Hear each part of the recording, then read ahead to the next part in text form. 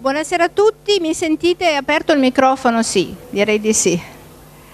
Eh, siamo qui questa sera per parlare di informazione e eh, con un tema che è particolarmente complesso anche per noi che, che nell'informazione lavoriamo e di informazione parliamo tutti i giorni.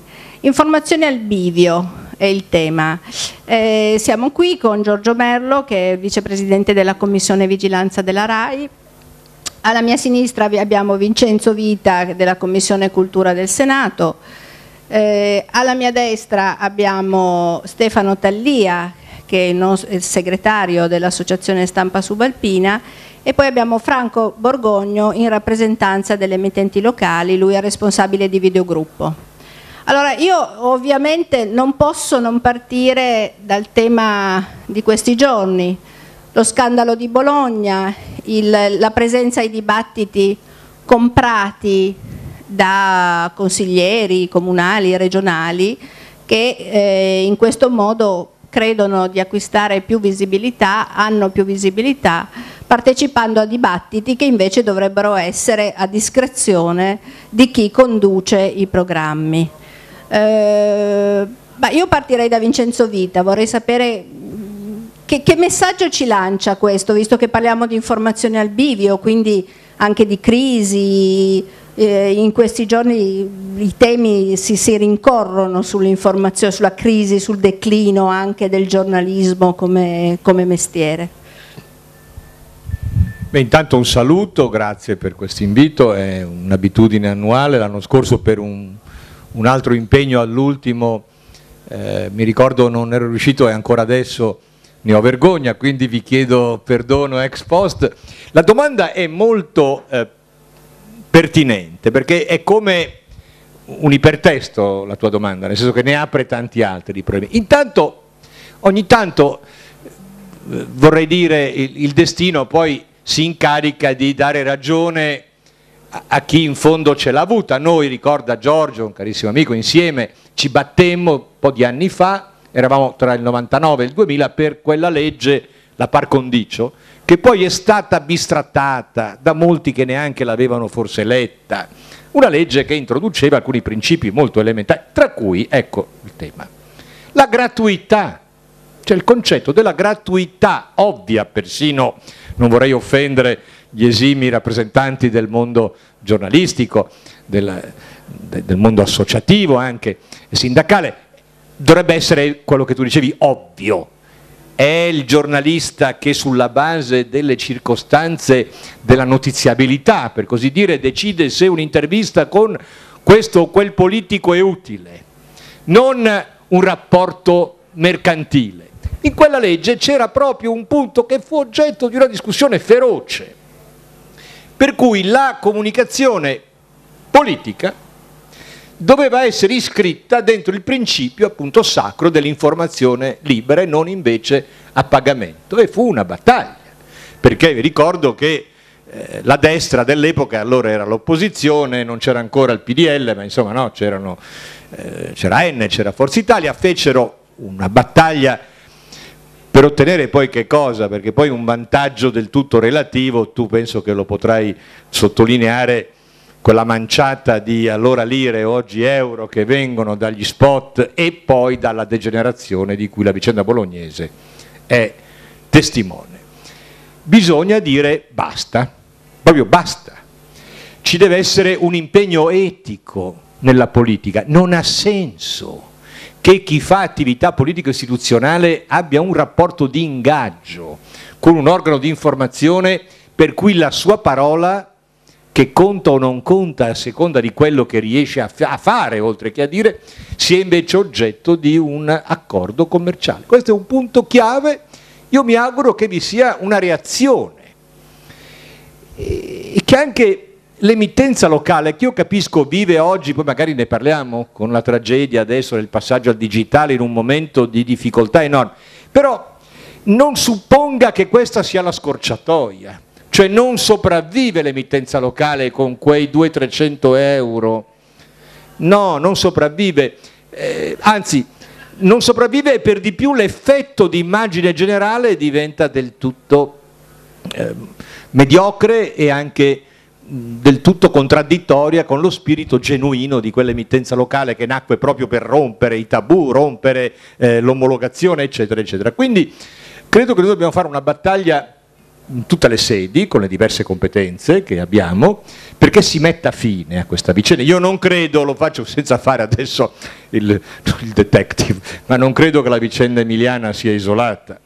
Credo purtroppo che sia un brutto andazzo ed è esattamente la degenerazione di quella discussione che ci fu all'epoca. Io me la sono ricordata come se fosse ieri, perché quella cosa gli spot a pagamento eh, in realtà poi ha portato a questa forma di degenerazione. Dallo spot si è passati, e insomma, in fondo che male c'è, un programma a pagamento, sempre i soliti ospiti, e insomma, tutte cose che abbiamo visto. No, è un problema di deontologia, di correttezza, di eticità nel rapporto tra politica e informazione, altrimenti la politica che già è messa malino finisce anche peggio. Ecco, questo è il mio parere molto secco, l'ho anche detto a diversi che mi chiedevano e lo faccio qui con grande determinazione. Grazie. Eh, Giorgio Merlo. Sì, ehm, la parte contenutistica l'ha già sviluppata Vincenzo, la condivido. Eh, c'è però un aspetto che noi, e questo lo dico non per esercitarci nella solita polemica, ma dobbiamo cogliere e dobbiamo correttamente propagandare, è, che eh, il tema dell'uso pubblico delle risorse, mh, hm, anche dai partiti, che, dai, dai movimenti che rifiutano eh, legittimamente qualunque forma di eh, destinazione pubblica e poi vediamo che queste risorse vengono spese come tutti gli altri partiti per la medesima finalità. Allora, sotto questo aspetto è bene sottolineare con forza e determinazione che anche la vicenda bolognese, ma non soltanto quella bolognese, conferma che c'è un malcostume diffuso che non è riconducibile a qualche esperienza politica o a qualche persona, è un malcostume diffuso che va rimosso e che contagia, guarda caso, tutte le forme di rappresentanza, le forme di rappresentanza politica. Sotto questo aspetto però, eh, e chiudo su questo primo spot, credo che il capitolo dell'emittenza locale noi non possiamo eh, ulteriormente eh, postanticiparlo o non affrontarlo. Il capitolo dell'emittenza locale nel nostro Paese, risorse adeguate all'emittenza locale da un lato, offerta ai cittadini di un'emittenza che non è riconducibile soltanto ai due Moloch esistenti, è un fatto di democrazia. Allora, su questo versante, sul capitolo emittenza locale, e poi su questo ne parleremo dopo anche con l'amico Progogno, ma noi ci giochiamo una parte non soltanto dell'offerta radio-televisiva, ma ci giochiamo una parte, un pezzo di democrazia all'interno del nostro Paese. Ecco perché allora noi abbiamo dedicato molto tempo, poi ne parleremo dopo, sulla governance della RAI, su come salvare la RAI, su come salvaguardare il pluralismo della RAI, sulle nomine e tutto ciò che riguarda il servizio pubblico. Purtroppo, e qui lo dobbiamo dire con un pizzico di autocritica, noi abbiamo eh, inconsapevolmente ma indirettamente trascurato un aspetto determinante, del, un pezzo determinante della democrazia informativa del nostro Paese, che è quella riconducibile all'emittenza locale. Purtroppo è una, un settore oggi in crisi, è un settore che rischia di chiudere, dove si rischia di chiudere molte emittenti ed è un settore che ogni qualvolta chiude anche solo una piccola emittenza locale, si spegne un pezzo di democrazia. Ecco perché il capitolo emittenza locale l'abbiamo posto noi a livello parlamentare, soltanto noi per ovvi motivi. Credo che su questo versante sarebbe bene che anche nel dibattito sulle primarie, accanto allo sventolio della carta d'identità, noi prestassimo un pizzico di attenzione in più su questo versante, perché ha a che fare con la democrazia del nostro Paese. Ecco Stefano, io rimarrei sempre sullo stesso tema perché vorrei sentire i, i vostri i quattro punti di vista. Il sindacato come può vigilare su questo? E comunque eh, Vita diceva, secondo me non è un fenomeno isolato. Ecco, tu come la pensi? Perché eh, ritenere che questo non sia un fenomeno isolato è ritenere che siamo in una situazione, a mio avviso, molto grave. Non so come la pensi tu. Ma sì, la situazione Indubbiamente, intanto buonasera, eh, buonasera, a tutti. Provo a rispondere in maniera ordinata, cercando però di mettere un pochino d'ordine, perché sennò uno si sveglia e dice ah, ma che cosa succede in questo paese?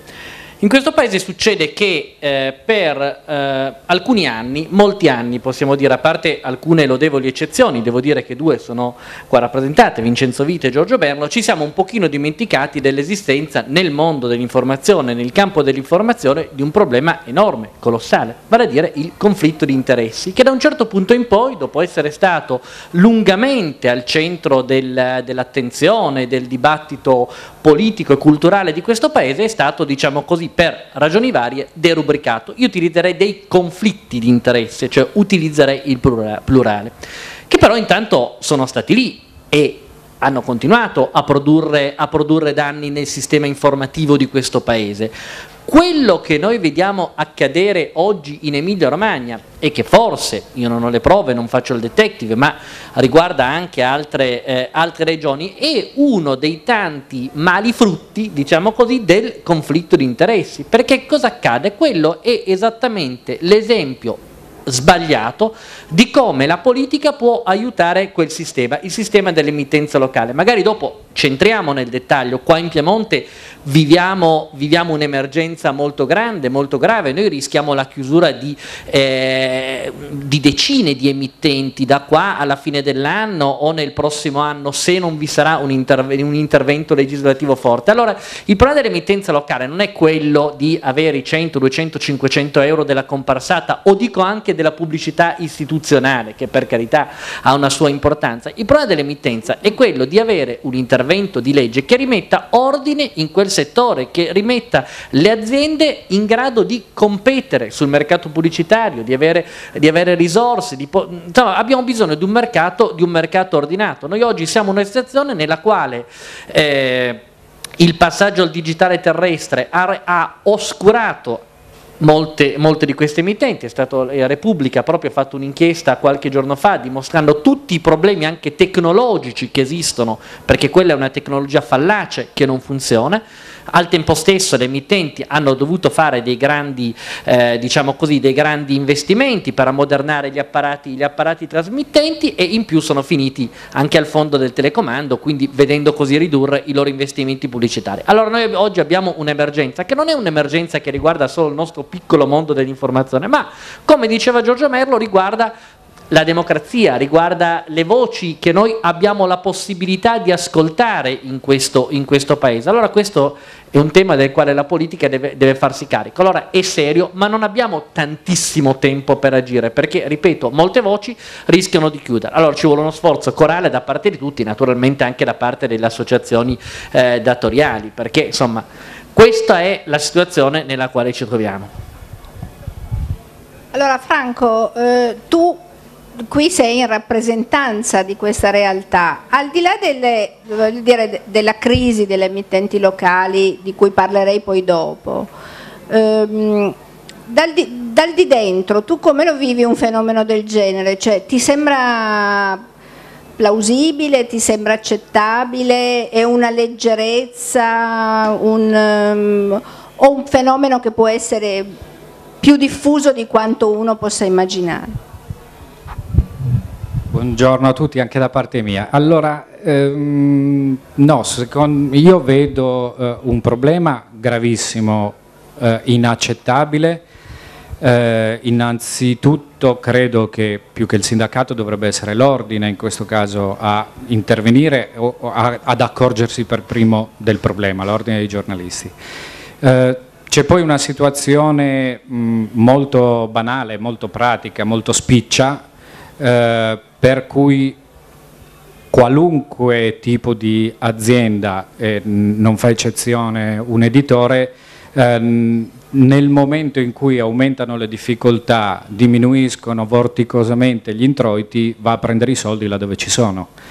E eh, in questo caso, se ci sono delle disponibilità eh, per, eh, con contratti, eh, perché poi c'erano dei contratti regolarmente firmati, questa è la cosa eh, mh, più assurda forse di tutte, eh, vanno a prenderli. Mh, cosa sbagliatissima ma che si spiega anche in questo modo. Io sono arrivato alla televisione da un anno, ho fatto prima tutti i settori dell'informazione, carta stampata per dieci anni, internet eh, per molto tempo e ancora lo faccio, uffici stampa, ora anche la tv. Eh, devo dire che i tentativi e non solo da parte della politica, da parte di mh, soggetti di vario tipo che abbiano comunque interesse a farsi conoscere e a comunicare qualcosa, i tentativi per arrivare a poter parlare con la gente eh, senza che questo risulti come pubblicità ci sono, eh, ci sono sempre stati, ce ne saranno ancora. È ovvio che più un settore è forte e più è in grado di respingerli. Questo proprio per stare molto molto terra terra. Eh, in una situazione di difficoltà è più facile che qualcuno scivoli e si lasci eh, conquistare, diciamo.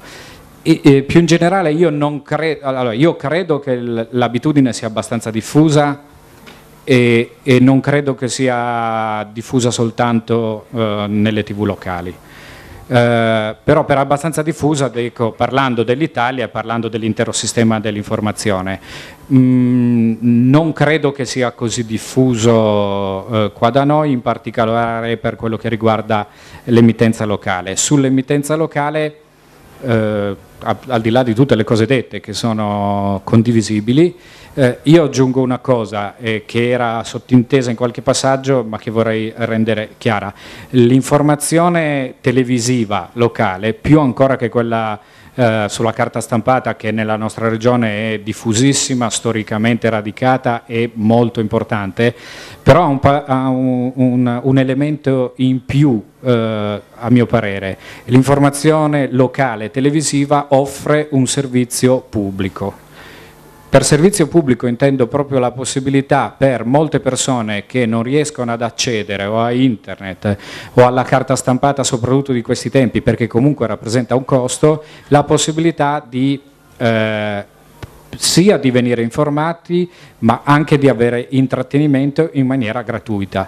Allora questo è un altro passaggio fondamentale eh, per rafforzare quello che si dice a proposito dell'importanza dell'emittenza locale, perché, mh, perché, è davvero forte il ruolo di, eh, di, legame con le persone, in particolare con le persone più deboli, eh, che eh, l'emittenza può tenere. Ovvio poi le, la qualità eh, dell'offerta varia moltissimo, ci sono esempi di eccellenza, esempi di bassissimo livello, però mh, la scelta lì poi ovviamente sta allo spettatore. E altrettanto ovviamente credo che possa eh, stare a chi deve fare in modo che questo mondo sia, possa continuare a vivere, svilupparsi, magari svilupparsi bene in maniera un po' più innovativa, un po' più fresca, un, un, un po' più credibile proprio per quello che è l'offerta che si dà a, agli spettatori.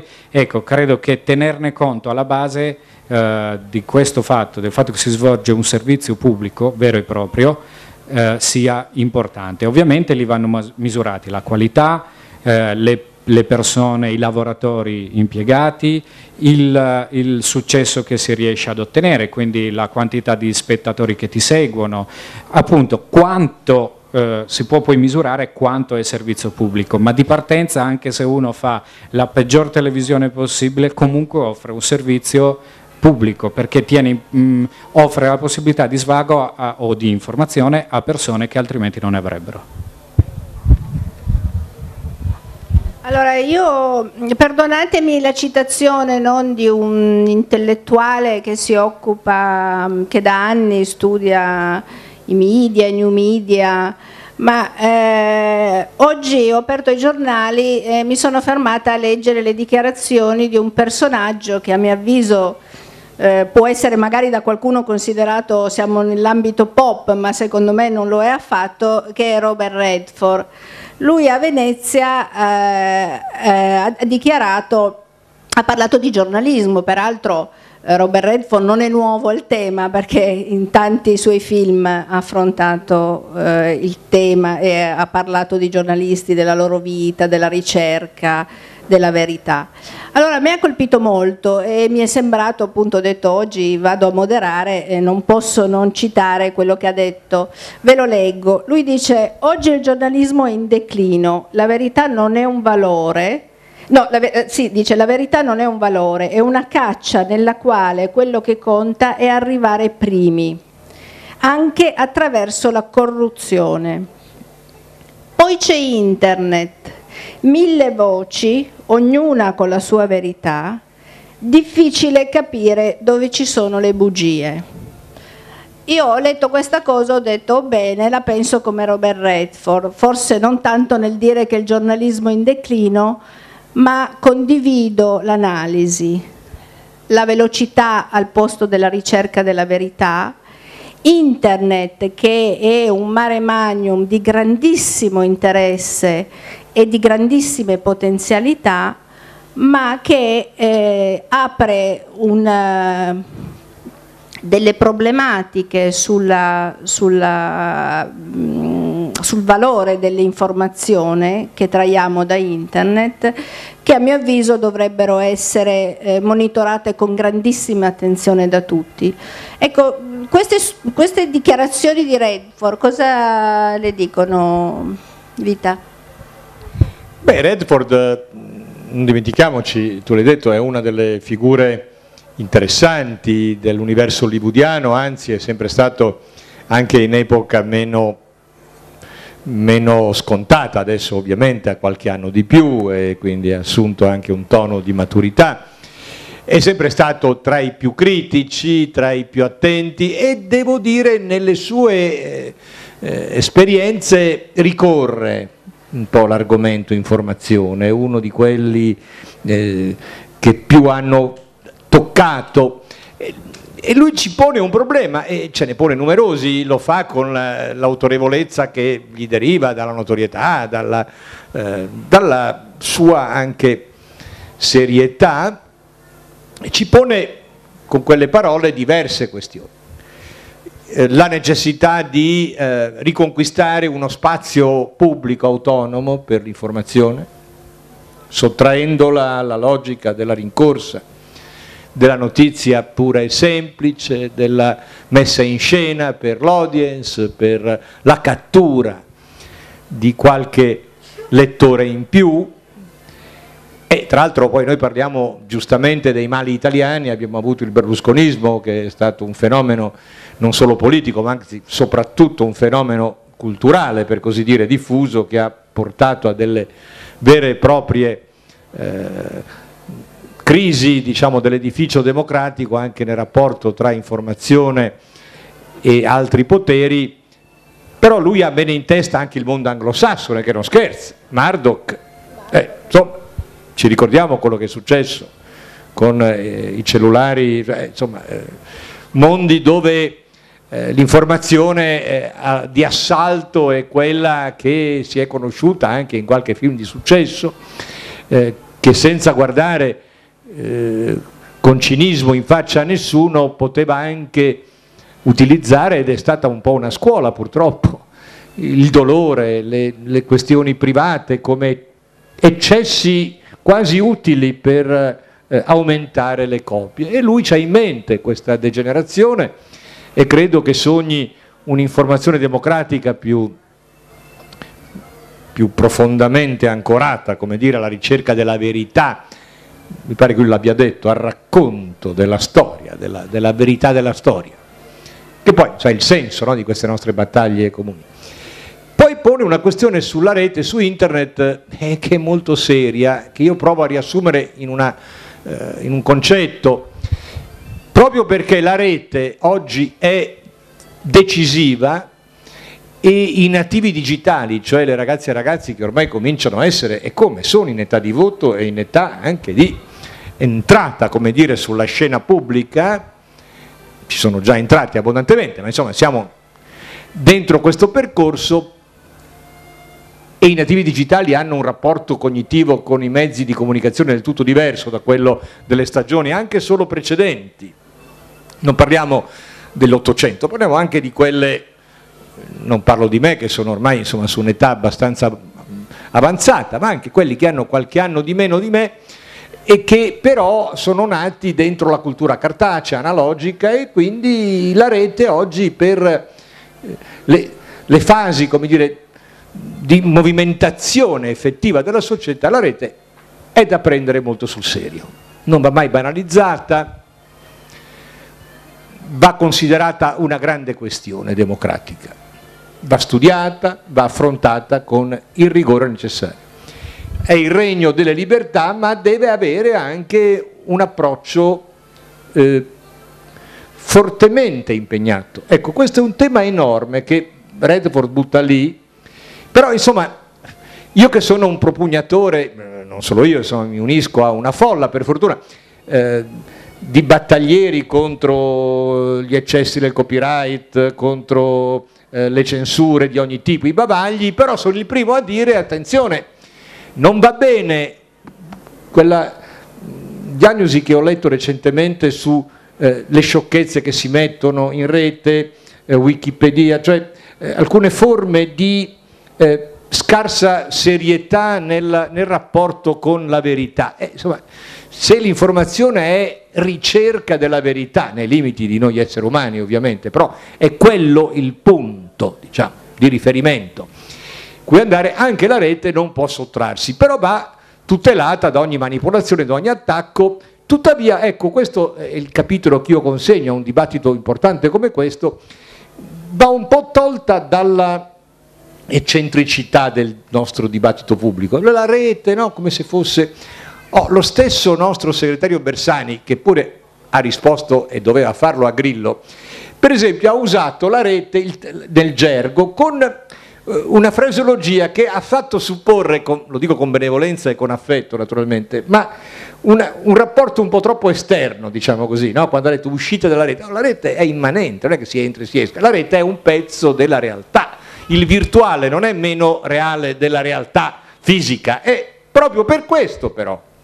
Va tolto dagli aspetti un po' così eccentrici, qualche volta folcloristici, e deve diventare un argomento del nostro dibattito, anche delle, delle discussioni seminariali, la deontologia, cioè non può essere un mondo a sé, in cui c'è eh, una sorta di zona eh, grigia che non, no, va affrontato con molta serietà, eh, io ho visto con grande positività, e poi mi taccio, non voglio tediarvi, per esempio nel testo sull'editoria che abbiamo approvato, che ha un po' ripristinato il fondo sull'editoria e ha messo nuovi criteri un po' più decenti di erogazione dei fondi pubblici, questo mi collega alla prima domanda tua, cioè più trasparenti, più, dei criteri un po' più seri, c'è un articolo, l'articolo 3, sulla editoria digitale che è importante, perché ha messo sullo stesso piano di autorevolezza l'editoria digitale rispetto a quella classica. Questo è un passaggio anche mentale che dobbiamo fare, perché se è vero che l'online tenderà via via, c'è uno studio del New York Times molto interessante, nell'arco di un quinquennio, a, a prendere, insomma, lo switch off è già avvenuto, poi se parliamo anche del digitale, ma tra lettori analogici e digitali è già avvenuto e, e aumenterà. Allora è fondamentale che quel mondo sia un mondo rigoroso in cui appunto, per esempio, scusa, parlo adesso al Presidente della Segretario della della Stampa, siano rispettati i contratti di lavoro, cioè non può essere un mondo che così diventa una specie di ecco, appendice strana. Ecco, questo mi pare un punto che a suo modo Redford ci ha segnalato e che credo quando parliamo di informazione, come il titolo dice qui, al bivio, ecco, uno dei bivi è quello tecnologico. C'è il bivio politico-culturale, il pluralismo, eh, la qualità culturale della comunicazione e c'è il bivio tecnologico. Guai a sottovalutarlo perché potremmo trovarci con qualche brutta sorpresa. Tanti anni fa, e tu ti ricorderai, no, tu sei più giovane, ma ho conosciuto alcuni tuoi colleghi anche all'epoca, ero un giovane io, mi ricordo qualche primo dibattito con l'emittenza, che allora si chiamava l'emittenza libera. Ecco, quando il nostro mondo, quello politico, i partiti si chiamavano con altri nomi, però insomma, non volle capire il fenomeno. 35 anni fa, 30-35 anni fa, lo considerò un fenomeno del tutto marginale, quasi un po' eh, in, surrettizio, un'improvvisazione. Di E poi alla fine, ai noi, crebbe la concentrazione berlusconiana e, e divenne quasi inarrestabile, no, quasi, divenne inarrestabile. Non commettiamo lo stesso errore adesso, a tanti anni di distanza, guai a sottovalutare questi fenomeni. Non sono fenomeni da prendere così sotto gamba, vanno presi con la dovuta serietà, con la voglia di capire, di starci dentro.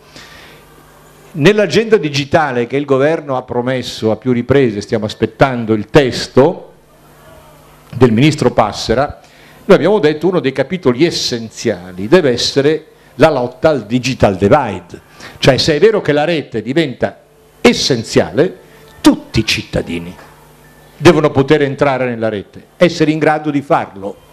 Se no si rischia eh, un'altra divisione, oltre a quella tra chi ha e chi non ha, quella tra chi sa e chi non sa e la miscela può diventare davvero esplosiva. Ecco, per questo è molto importante questo accenno, ho usato Redford a fini spero di bene, eh, alla rete ed è fondamentale discuterne. Ecco Stefano, eh, internet, eh, prendiamo spunto di qui per parlare di internet. Secondo te come, come, si fa un po' di ordine in questo grande mare di internet dove si trova di tutto?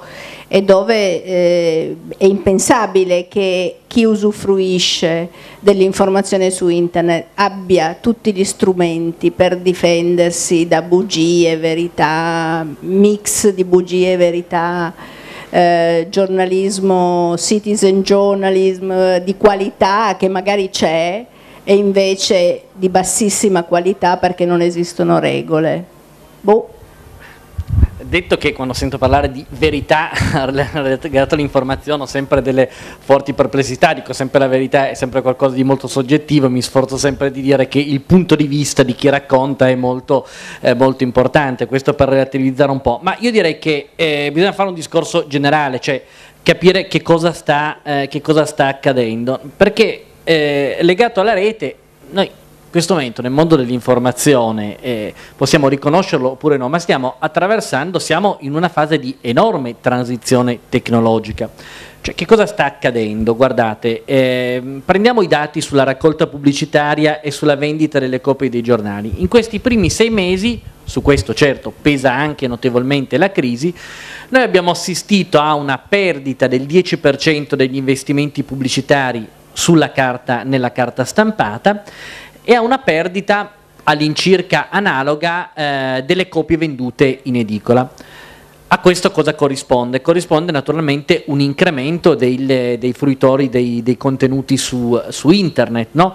Quindi noi nel mondo dell'informazione sempre più evidentemente abbiamo un problema legato al, ehm, diciamo così, al fatto che, la dico in questa maniera qua, non è più immaginabile, e non lo è più per un periodo molto lungo, eh, immaginabile che i contenuti prodotti su internet, i contenuti informativi prodotti, prodotti su internet siano disponibili a titolo gratuito.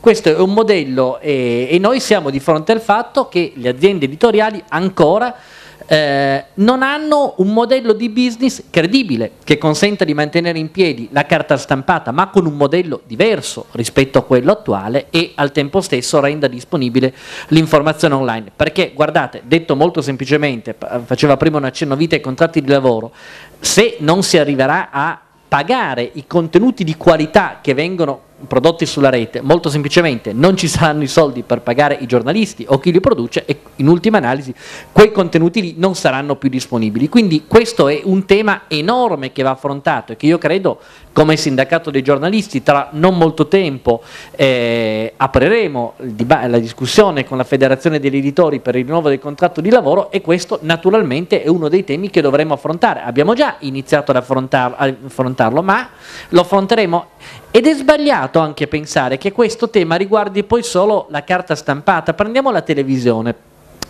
Eh, il numero di persone che fruisce eh, della televisione on demand va crescendo, cioè il numero di persone che va a cercare su YouTube quel contenuto o sul sito della trasmissione, dice non è che tu guardi più tutta la trasmissione, vuol dire, ieri sera so che da Fazio sono stati ospiti due persone, mettiamo la Camusso e un'altra cosa, voglio sentire l'intervista della Camusso, vado sul sito di Che Tempo Che Fai, fruisco di quel pezzo lì, non dell'intera trasmissione, e, eh, oppure vado ad ascoltare quella canzone, quel pezzo di cosa, quindi la transizione al, al digitale, l'utilizzo, eh, cioè l'utilizzo di internet e ormai, cioè chi ha meno di eh, i nativi digitali ormai fruiscono così della, tele, della, televisione, ne fruiscono così. Allora ne dobbiamo tenere conto, ne dobbiamo tenere conto perché eh, quello che diceva Vita prima è importante. Allora come mettiamo, come mettiamo ordine? Io non c'ero, però so bene che dalle radio libere siamo arrivati alla più grande concentrazione esistente, eh, esistente al mondo di mezzi, di mezzi, di informazione. Allora non vorrei risvegliarmi in, quel, in quello scenario lì. Quindi come dire, anche qua è necessario, è necessario, mettere ordine, ne, sono necessarie regole, sono necessarie regole che eh, è necessario rispetto dei, dei contratti delle persone, che, delle persone, che, lavorano. Non possiamo non occuparci eh, delle condizioni di chi lavora e di chi produce informazioni. Io so che Vita è molto impegnato sulla legge sull'equo compenso, ma eh, ne affrontiamo dopo, ma mh, mm, non è più possibile che persone che scrivono eh, che lavorano su media vengono pagati 2-3 euro, 3 euro ad articolo. Questa non è solo una questione sindacale che riguarda chi, eh, chi fa questo, questo, lavoro, è una questione che riguarda la democrazia, la civiltà di un, di un paese e questa è un'altra delle cose che noi come sindacato dei giornalisti e mi auguro anche con l'aiuto delle parti politiche più sensibili porremo al centro dell'attenzione del prossimo rinnovo del, del, contratto, del, contratto, di lavoro. Insomma, il momento è delicato. Io credo che ci siano delle grandi, delle grandi opportunità per finire a rispondere alla domanda di, eh, di Sara. Come si fa a far, far ordine? io credo che un po, di, un po' di, caos sia anche una ricchezza nel, eh, nella rete, no? nel, eh, il, fatto siano, il, fatto che ci siano, molte voci, il fatto che insomma, mm, voglio dire, queste voci abbiano la possibilità, la possibilità di esprimersi, però facciamo, però facciamo, attenzione perché poi in tutto questo delle regole debbo, debbono, essere, debbono essere poste, perché non, altrimenti rischiamo di trovarci su una piattaforma diversa a rivivere lo stesso brutto film che abbiamo, che abbiamo visto in questo paese negli ultimi 30 anni. Ecco Giorgio, tu ehm, una volta eh, la televisione dominava, no? Mm, quello che passava in televisione era, raccoglieva la grande audience. Adesso internet, eh, visto che tu, cioè, parliamo di RAI, ma è vista come un, eh, un competitor o è vista come un'integrazione? Non so, è una domanda un po' strana la mia, però sono curiosa di capire dal tuo punto di vista come, come vedi questo, questo, grande sviluppo dell'informazione dell in rete. Io parto da un dato. Nel 2008 eh, non un sondaggio ma più case demoscopiche, hanno evidenziato che il, il 68% degli italiani si formava il proprio convincimento di voto attraverso la tv? Il 28% attraverso i giornali, il resto attraverso la rete. Tutti sappiamo, per rifarci a quello che dicevano Vincenzo e e Stefano che c'è stata una inversione di rotta mostruosa in questi quattro anni. Vedremo il convincimento di voto e l'orientamento di voto da chi sarà dettato nel 2013. Probabilmente non ci sarà un grande spostamento, ma ci sarà un lieve progressivo abbassamento del potere della televisione per quanto riguarda il convincimento de, eh, politico ed elettorale degli italiani. Io però faccio questa riflessione rapidissimamente. È vero che c'è una moltiplicazione di messaggi, c'è un bombardamento mediatico che ormai prescinde da quello a cui eravamo abituati fino a qualche anno fa, cioè che la televisione veicolava prepotentemente la formazione della pubblica opinione, il convincimento di voto, l'orientamento politico del cittadino della pubblica opinione, però è bene non dimenticare che la proliferazione dei messaggi non hanno nulla a che fare poi con il convincimento della pubblica opinione. Cioè oggi non puoi più nascondere le notizie. Uno dei motivi per cui è stato cacciato Minzolini dal TG1 è sì la pessima gestione, e questo lo sa bene Vincenzo, ma è, ma è dovuto ad un fatto che lui è riuscito a nascondere per quattro mesi e mezzo che il processo Rubi era spazzatura politica. Ora, il sondaggio che eh, una casa demoscopica ha fatto in questi quattro mesi è che il 92% degli adolescenti italiani sapevano di che cosa si parlava quando si parlava di Rubi, a prescindere dal TG, dal TG più importante del nostro paese, dal TG che faceva più consensi e più ascolti. Per dire che tu non riesci più a nascondere le notizie, ma nello stesso momento non dobbiamo pensare che il bombardamento mediatico crescente, la proliferazione dell'offerta informativa contribuisca a formare la pubblica opinione. Qui secondo me si staglia in modo ancora più forte il ruolo che deve avere un servizio pubblico radio-televisivo. Proprio qui un servizio pubblico che non deve essere, come dice sempre il Presidente Zavoli, una sommatoria di faziosità, ma un servizio pubblico che deve essere in grado di fornire delle informazioni a tutto campo. Sotto questo aspetto credo che la RAI possa e debba giocare un ruolo ancora più determinante di ieri, proprio perché aumenta l'offerta informativa, ma aumenta un'offerta un'offerta informativa il più delle volte, non voglio definire di spazzatura, ma il più delle volte che non ha nulla a che fare con ciò che capita veramente nel Paese. Credo che sotto questo aspetto, se esiste un servizio pubblico retto anche da un canone, cioè da un pagamento di un tributo da parte della pubblica opinione, non c'è momento migliore che oggi che è quello di riuscire a fornire delle notizie a tutto tondo e quindi a salvaguardare un principio costitutivo del servizio pubblico che è quello del pluralismo. Sotto questo aspetto, secondo me, non c'è bisogno di riscoprire nulla di nuovo, eh, che non si debba riscoprire la verità, che non tocca al giornalismo riscoprire la verità, questo è un dibattito vecchio, però ci deve essere un'agenzia informativa capace di offrire tutte le notizie e capace di mettere a confronto le diverse interpretazioni. Mi pare che oggi più di ieri questo lo possa fornire ancora la RAI. Sì, peraltro qualche anno fa, ma parliamo già di una decina, 15 anni fa, eh, quando si affrontava il tema del giornalismo, mi, ricordo, lo, si insegnava eh, anche come valutare le notizie, si diceva compra 4-5 quotidiani, li confronti e da questo capirai tante cose, no? attraverso il confronto delle notizie viste da punti di vista, adesso ti pare possibile e impossibile pensare, non c'è più nessuno che compra 4-5 quotidiani al giorno, è proprio un'abitudine tramontata. E, e io mi sono presa dei dati da una ricerca che aveva fatto l'ordine dei giornalisti della Lombardia, non è recentissima nel senso che non è del 2011, diciamo, risale al 2009, però ci dice molto. Eh, loro distinguono, hanno fatto tutte queste indagini distinguendo fra heavy users, light users e non users. E, eh, internet, cioè il fruitore di internet ha, eh, utilizza, cioè, eh, eh cerca informazioni in rete 6,2 volte a settimana, quindi è un heavy user costante.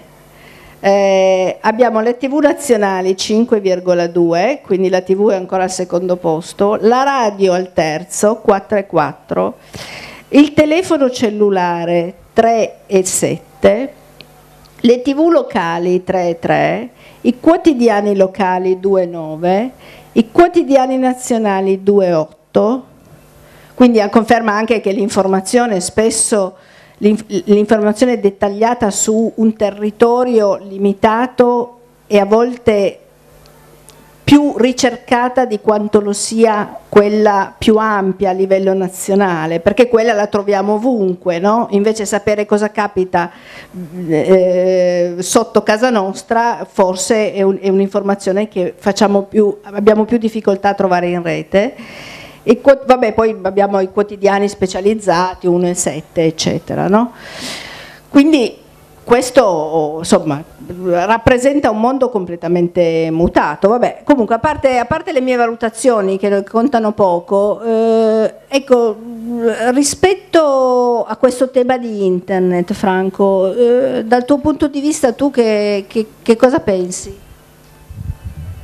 Io penso che sia eh, una grandissima occasione eh, per eh, tutti, per eh, cittadini e professionisti, per l'informazione in generale. Ehm, ovviamente con dei rischi mm, normali, naturali, molto frequenti, soprattutto in un periodo in cui si avvia, come per l'Italia, la, l'accesso a internet di massa, perché poi ci stiamo arrivando piano piano. Eh, però io credo che sia una grandissima occasione e credo che vada affrontata in questo modo eh, eh, la trasformazione. Questa è un'occasione per innovare eh, sia i linguaggi eh, sia il modo più in generale di fare giornalismo che la, la, parte semplicemente tecnica o tecnologica. Lo dico anche per le televisioni, ad esempio per le televisioni, questa, le televisioni locali questa può essere una grande occasione bisogna capire come arrivarci, maturare eh, culturalmente per eh, imparare, imparare eh, dall'estero dove magari sono più avanti e dove possiamo capire, prendere le, le parti migliori e comprendere quali sono stati gli errori fatti. Eh, e poi soprattutto capire che siamo dentro un, un, processo che è in continua evoluzione e quindi cercare di seguire questa evoluzione. Secondo me è una grande occasione, con tutti i problemi che ci possono essere, che sono stati sottolineati, secondo me è una grandissima occasione perché eh, per l'informazione in sé, per l'obiettivo informazione è il meglio che ci possa essere. Io ho infinite fonti, ho infiniti eh, informatori, ho la possibilità, cioè pensate, adesso io non voglio dissacrare nessuno, ma io credo che dei primi 10-15 giornalisti che ci vengono in mente della storia del giornalismo italiano, con internet ce ne sarebbero stati forse tre, perché gli altri sarebbero stati massacrati nelle cose che raccontavano per imprecisioni, per falsità, eh, eh, presi subito. Mm, quante volte sappiamo che i grandi racconti dei grandi narratori, ad esempio dei fronti di guerra, erano racconti che si, diciamo, erano realistici, non erano reali.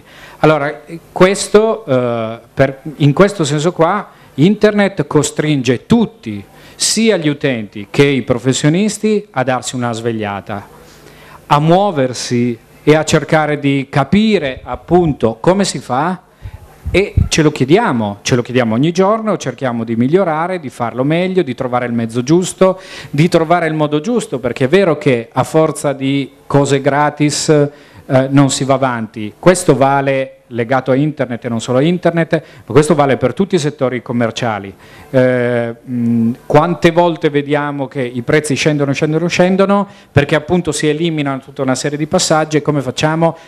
perché poi eh, eh, vai a vedere dall'altra parte quanto vengono pagati i lavoratori, questo vale anche nell'informazione ovviamente, però questa credo sia una grande occasione e deve essere un'occasione perché se non la sfruttiamo come occasione comunque ci passa sopra non è che si ferma, non è che la fermiamo con qualche ehm, eh, con regole o regolamenti, possiamo trovare il modo sì di farla funzionare bene, ma non di fermarlo. Eh, tutto questo non lo fermiamo. Sul, un cenno sul fatto che la corsa ad avere subito la notizia è vero, eh, porta a errori anche molto gravi eh, credo che però faccia parte delle cose su cui si deve imparare, cioè l'informazione eh, può avere più eh, mh, facce, nel senso c'è l'informazione puntuale della cosa mentre sta accadendo, io racconto esattamente quel che sta accadendo, che non è il racconto della notizia ovviamente, quello c'è un altro passaggio e c'è poi eh, il racconto appunto o l'approfondimento. Allora tutte queste parti eh, dovranno convivere, bisognerà trovare il modo migliore per farle convivere, ma anche qua se noi guardiamo alle esperienze fuori dall'Italia già vediamo come in alcuni paesi i giornali su carta sono fatti in maniera completamente diversa da come li facciamo noi. Noi vediamo come i giornali su carta spesso hanno aperture che per noi eh, che noi non, non, troveremmo mai su una prima pagina, perché fanno appunto un approfondimento, perché quello che è il fatto e come si è sviluppato eh, nei singoli momenti, il lettore di quel giornale l'ha già trovato sul sito di quel giornale il giorno prima. Allora, tutte cose, a tutte queste cose bisogna abituarsi, sicuramente bisogna abituarsi a leggere le cose anche con... Eh, facendosi delle domande molto semplici, ma è possibile che questa cosa sia capitata? E molto spesso se ci rispondiamo non è possibile, è proprio così. E facendo due verifiche lo troviamo, però è una questione di a, eh, abituarsi, di educarsi, sia i professionisti che i lettori. Ma io credo che sia una grandissima occasione per tutto il mondo dell'informazione e chiudo su questo.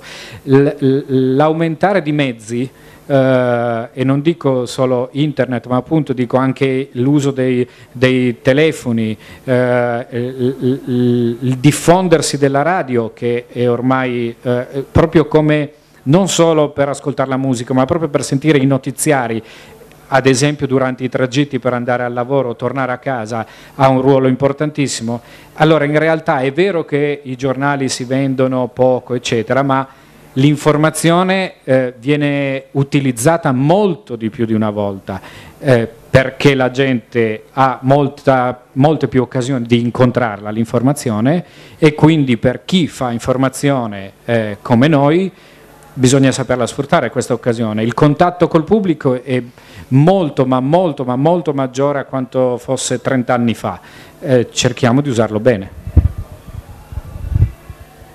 Allora, ehm abbiamo visto questa evoluzione, io sono assolutamente d'accordo con Franco che questa sia una grande occasione di cambiamento, anche una grande sferzata per il, il vecchio modo di fare giornali, il vecchio modo di fare televisione, quindi un'occasione perché il confronto è, è, è tale che o, o, ci, o ci si adegua e si cambia oppure si precipita, è inevitabile. Questo come si concilia con la formazione del, del giornalista? Eh, perché continua ad essere una delle professioni più amate, più ricercate, i giovani continuano a fare tutti i sacrifici possibili, anni e anni di attesa per entrare in un giornale, per entrare in una televisione. Eh, spesso con grandissime delusioni perché in questo momento sappiamo che il mercato del lavoro è praticamente bloccato. Ecco, questo, come si, tutta questa esigenza di rinnovamento per offrire maggiore qualità, che è poi quello che ci chiede eh, chi fruisce del, del prodotto, eh, come si concilia con, questo, con queste percentuali di precariato?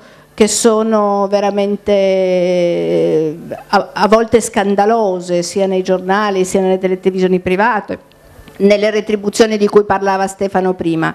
Eh, io mh, mm, ho letto recentemente, sono andata a vedermi questi, mh, mm, questa legge sull'equo compenso di cui si è parlato, ho anche letto, ma mh, mm, me lo confermerà eh, Vita, che il ministro Fornero non sembrava molto d'accordo su questa legge sull'eco compenso e che invece in Francia questo sta andando avanti con, eh, però su questo forse non ho delle informazioni precisissime, ma eh, che invece in Francia questo stava insomma, trovando un, un canale.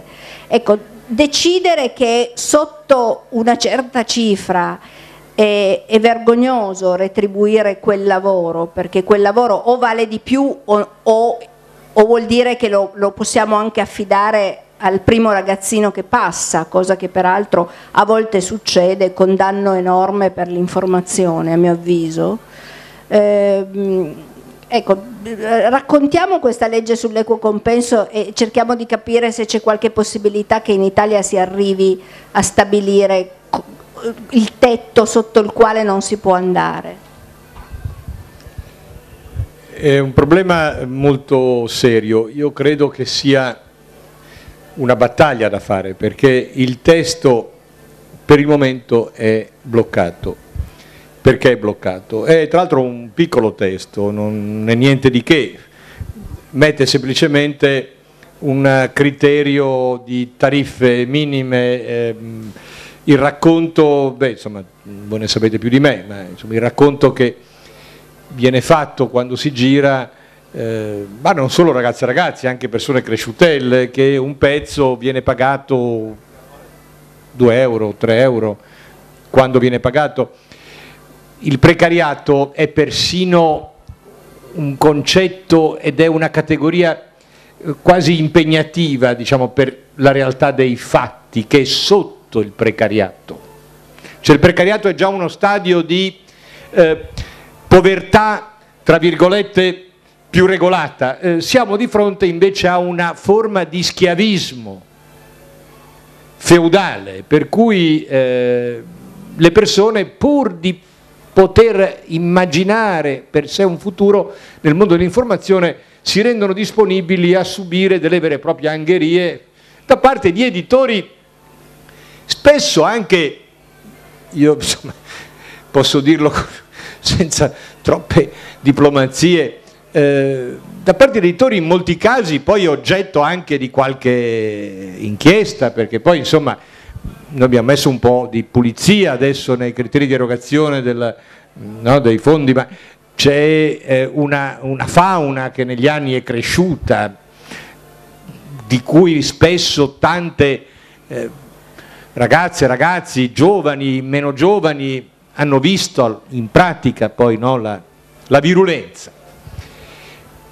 Alla Camera era passato un testo in verità concordato qualche tempo fa eh, dall'Ordine dei giornalisti nazionale, dalla Federazione della Stampa e con il concorso di chi di noi un po' si è sempre occupato della materia, un testo, ripeto, molto semplice, non è che sia un grande eh, diciamo, percorso riformatore, è un'aspirina, insomma, ecco, però è una, almeno un'aspirina.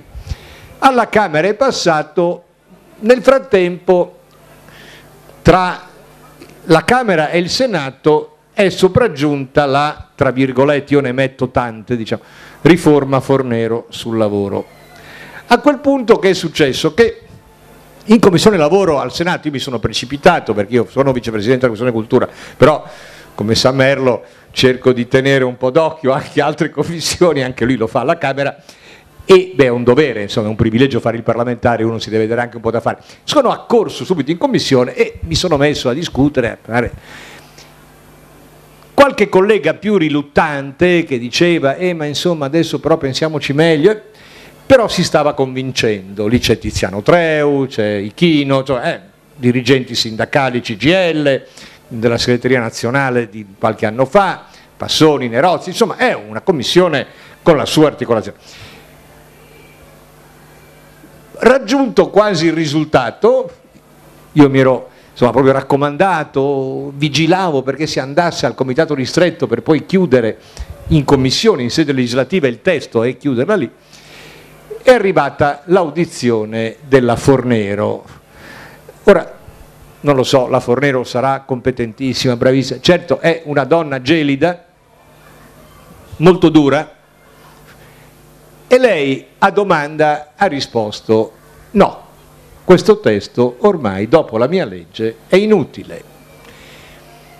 Io purtroppo stavo votando un regolamento nella mia commissione, fossi stato lì, poi mi sono anche rammaricato con qualche collega più amico, le avrei detto ma scusi, adesso lei sarà bravissima ma non è che sia un padre eterno, adesso tutto è opinabile, come dicevi tu, la verità è una ricerca complicata. Dopo l'audizione con la Fornero i colleghi naturalmente si sono un po' spaventati, a te come si fa adesso? E come si fa? Si fa. Allora abbiamo riparlato con la Fornero, abbiamo cercato, insomma, abbiamo messo di mezzo il Presidente del Senato Schifani, il quale incoraggiato, devo dire, con un atteggiamento che ha sempre avuto per l'informazione, molto nella cerimonia del ventaglio anche il Presidente della Repubblica, ha incoraggiato lo sblocco di questa vicenda e adesso parrebbe sbloccarsi. Ecco, vi dico questa cosa eh, in tempo reale, perché settimana questa potrebbe di nuovo tornare a riunirsi il comitato ristretto e eh, io non lo dico come, come promessa incauta, lo faccio davvero, mi chiudo lì dentro, non esco finché il testo non viene varato, perché è un testo doveroso, io ho detto anche ai miei colleghi autorevolissimi eh, giuristi del lavoro, sai che ogni attività ha le sue, no, lo dico con rispetto assoluto, ma io sa quante ne ho io di paranoie, ma ogni attività ha il suo... E allora di fronte all'obiezione, sì però il testo non è ben fatto su alcune cose, guardate, è una questione davvero politica nel senso più profondo del termine, noi dobbiamo varare una legge che dia un incoraggiamento, un segno, dia una speranza. Poi naturalmente, e quindi introduco un argomento, Sara, tu hai detto una cosa drammatica, facendo gli scongiuri, io non sono superstizioso, qui non vedo ferro, se tornassimo noi a governare nel 2013, in quelle elezioni evocate da Merlo, in cui chissà la televisione quanto conterà, comunque un po' conterà, eh, quindi vigiliamo in commissione appunto di vigilanza. Ecco, una delle cose che dobbiamo impegnarci a fare è una vera e propria riforma. Cosa voglio dire con riforma? È che noi non possiamo accettare che l'Italia sia un paese ormai antropologicamente precario. In Commissione Cultura al Senato, come quella della Camera, una delle attività prevalenti è tutto il pacchetto scuola ma è un mondo che non conoscevo direttamente e ci ho messo il naso stando lì in questa legislatura. Beh, è un dramma incredibile. Cosa non è successo negli anni nella scuola? Il problema del precariato, lì è migliaia, migliaia di persone. Ecco, tutto questo capitolo enorme di come portare il precariato a delle vie di stabilizzazione, è il tema dei temi. Noi dobbiamo lavorarci seriamente e cominciare per il programma elettorale, siamo vicini, eh? siamo a settembre, insomma, qui il tempo corre. Nel programma elettorale, che mi auguro questa volta non sia un papiello di 270 pagine, ma sia una più snella scrittura di punti essenziali, il capitolo dell'informazione, della comunicazione e del lavoro nella comunicazione deve essere in testa, non una varia finale. E dobbiamo, Giorgio, tutti quanti, insieme a voi, impegnarci, perché io penso che il tema del precariato sia uno degli argomenti che riguardano proprio il Partito Democratico. Che cos'è se no il Partito Democratico, se non pensa a questo passaggio? E guardate, è un tema enorme. Come? E per esempio, eh, scusate, eh, per esempio, ampliando, tu l'hai detto, ampliando le fonti possibili di imprenditoria, che adesso sono limitate alle vecchie strutture mediatiche, dico vecchie nel senso quelle classiche, con qualche fatica, con qualche fatica, con un'aggiunta no, di, di rete, qualche pezzettino virtuoso. Ecco, bisogna che diventi la regola. Cioè dobbiamo immaginare delle forme anche forse più evolute dal punto di vista della negoziazione, qui non voglio fare un, mettermi in un mestiere che non è il mio, insomma, cioè trovare dei modelli anche di negoziato che permettano però di stabilizzare il lavoro anche nei campi in cui oggi è del tutto ovvio che sia precario, che sia accidentale, che sia quasi un'eccezione. Io credo che sia un nostro impegno, adesso dirlo in due battute, però è proprio un tema enorme. Noi dobbiamo rimettere mano a questo, dobbiamo rimettere mano al tema del conflitto di interessi, prima si diceva, guai a pensare che sia un tema ormai superato e vecchio, riformare insomma questo settore. C'è un'altra leggina che si è bloccata, speriamo di sbloccarla, che anche lì è una piccola riforma, quella dell'ordine, che non è la riforma dell'ordine dei giornalisti, quella è un sogno ancora eh, così ad occhi chiusi, aperti, non lo so. No, però perlomeno mette un pochettino di sapienza anche nella formazione, no? nella possibilità di entrare nella professione attraverso la formazione. E questo è un altro dei passaggi, dobbiamo sbloccare anche quella. Oh, comunque, so di dire una cosa molto eh, seguita perché c'è stata un'iniziativa anche recentemente, si è formato un coordinamento dei precari dell'informazione molto eh, vivace, che segue, quindi non parlo in modo improvvisato, sono cose che stiamo vedendo. Io spero davvero di poter essere utile a questa causa e di riuscire con gli altri colleghi a sbloccare questo testo. Guarda, io te lo dico come una cosa che sento moltissimo, non vorrei che si chiudesse la legislatura senza che quella legge sull'eco compenso arrivasse a conclusione. Giorgio, dobbiamo fare uno sforzo con tutti, ogni tanto bisogna anche un po' incavolarsi, qui dobbiamo metterci seriamente al lavoro perché insomma la legislatura ormai è sulla sua fase conclusiva e questa è una di quelle cose da sbloccare tra questo mese, settembre, ottobre, massimo novembre, se no rischia di finire nel dimenticatoio. Ed è un bel impegno da prenderci qua a Torino.